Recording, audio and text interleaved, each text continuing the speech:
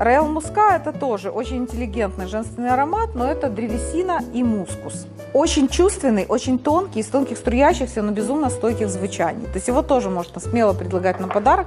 Даже сейчас по продажам муска где-то, ну лично у нас, э, даже э, превзошел Ананду.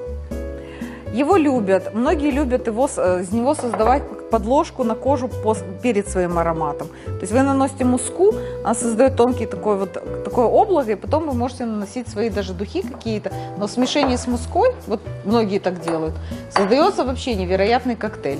Но муска звучит и отдельно сама по себе очень красиво, независимо от возраста, независимо от времени года, хорош всегда и везде.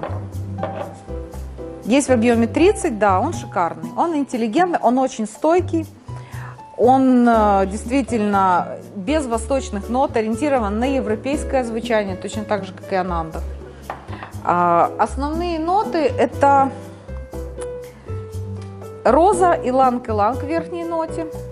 Сердце идет, драгоценная древесина, бархатные фрукты – базовая нота, бензоины и мускус. Многие мускус считают пудровым, ну как бы на многих он запудривается, но не на всех как бы. Мускус тоже причисляют к пудре, гелиотропы, вот наличие гелиотропа тоже к пудровым гамма.